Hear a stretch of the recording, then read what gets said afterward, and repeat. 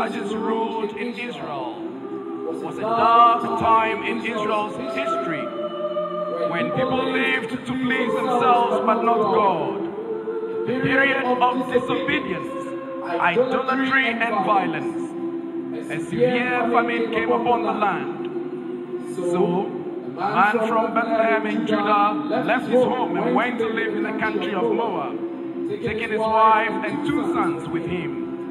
Man's name was Elimelech, and his wife was Naomi. Their two sons were Mahlon and Chilion, and they were Ephrathites from Bethlehem in the land of Judah. And when they reached Moab, they settled there. Moab was the land east of the Dead Sea. It was one of the nations that oppressed Israel during the period the judges ruled. So there was hostility between the two nations. The Israel famine that caused Elimelech to move his family to Moab was severe. Elimelech died, and Naomi was left with her two sons. The two sons married Moabite women. One married a woman named Orpah, and the other a woman named Ruth. But about 10 years later, both Mahlon and Chilion died. This left Naomi alone without her two sons or her husband.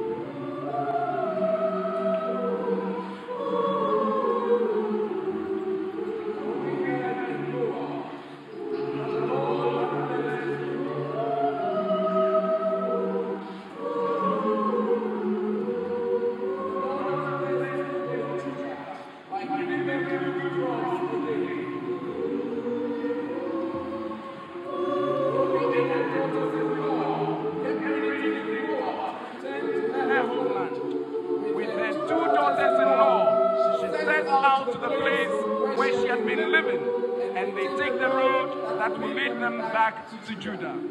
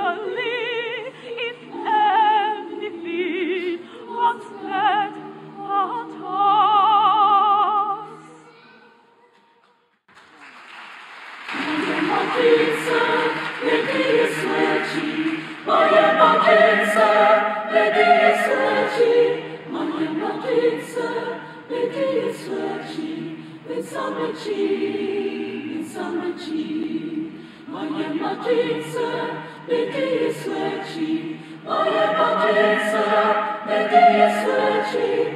Moje matryce, kiedy jest leci. Więc sam leci.